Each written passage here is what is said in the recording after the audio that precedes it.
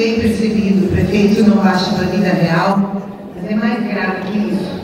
Vereador Moisés, gostaria da sua menção, porque aqui nós temos, trazidos pelos usuários do parque, do nosso ginásio de Lourinha, as listas dos alunos que estão ficando sem aulas de esporte, de futsal, de musculação, de yoga terapeuta, de várias modalidades, porque foram retirados, primeiro, regentes de aula na Secretaria Municipal de Desenvolvimento Social e Esporte, vereadora Benita.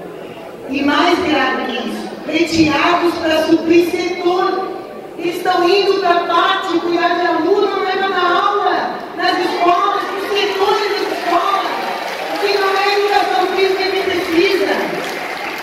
Mais grave que isso, contra, eu recebi aqui um abaixo assinado da praça, vocês todos receberam, da Praça da Cia Zambuja, onde o prefeito foi fazer ginástica.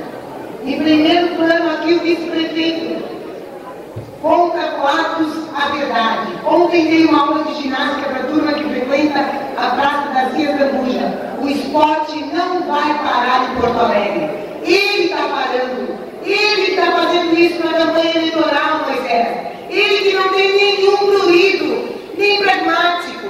Ele que não tem a vergonha de tirar toda essa população da, do seu direito ao esporte e lazer e recreação. É o prefeito Marquesão que tem que ser impeachmentado e retirado. E não praça.